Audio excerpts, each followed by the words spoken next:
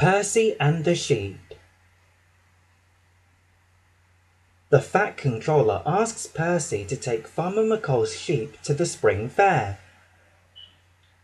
Don't worry, sir, says Percy. But Percy doesn't notice that there is a hole in the back of the carriage. Every time he stops, a sheep hops out of the carriage and onto the tracks. Luckily, Thomas is right behind Percy. He stops to collect all the sheep. They ride in his coach Annie next to his passengers.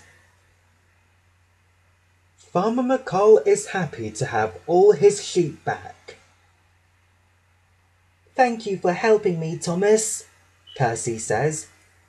I promise to be more careful next time.